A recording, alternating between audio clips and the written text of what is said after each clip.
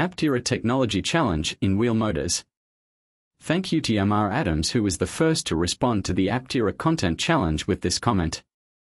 How are wheel motors protected against dirt, dust, rocks, and grime? How will this affect performance?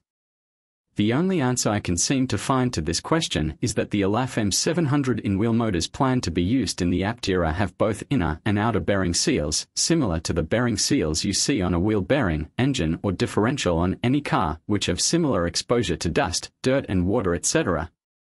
I couldn't find anything official, but from comments that I read on the forum section of the Aptera website, from a Reddit forum dedicated to Aptera, and from a comment on the Green Car Reports website, there will be a preventive maintenance requirement to change those seals at a minimum of 30,000 miles, but that number could be higher, maybe 60,000 or 100,000 miles. There is even talk that it could be a sealed for life unit. Think about it, how often do you change the wheel bearings or the main bearing seals on a combustion car? Not very often, if ever.